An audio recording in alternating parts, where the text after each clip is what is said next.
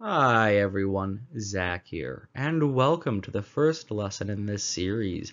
This video is for those of you completely new to programming and who do not have an integrated development environment, otherwise known as an IDE. If you have an IDE for C++ already, please skip this video.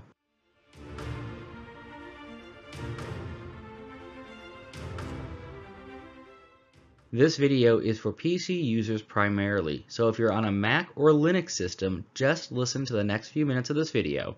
However, Apple users, I have left instructions below for how to get an IDE that supports C++ and links for various other approaches.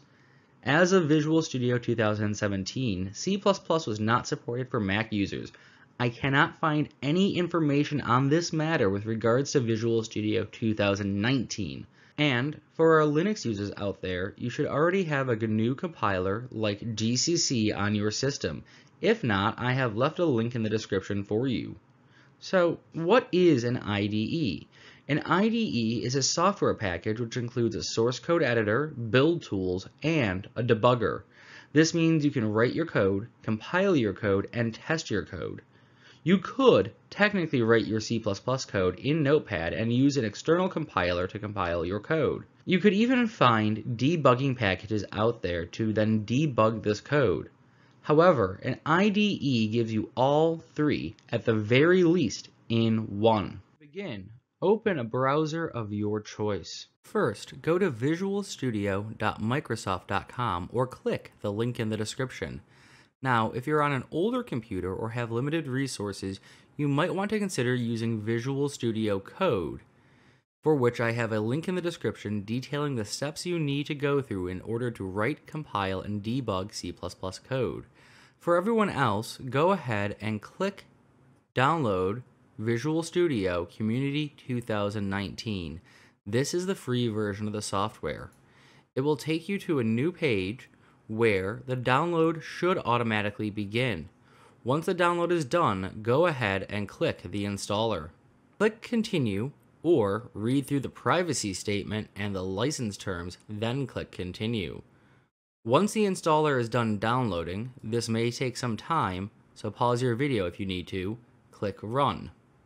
Once it's opened, start the install process for Visual Studio 2019. You'll get a window like this one. Now, you don't need to have everything I have selected selected as I use Visual Studio for work-based projects and therefore I will have extra items selected. You need to select desktop development with C++ and universal Windows platform development. Select those and click install or modify. The space, the size it says down here isn't actually accurate.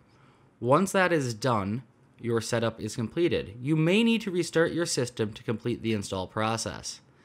That said, thank you for watching this lesson and thank you to my supporters on Patreon. If you want to help this channel grow, please, please hit that like button below. It really does help the channel. Also, hit the subscribe and notify icon so you know when the next video is out.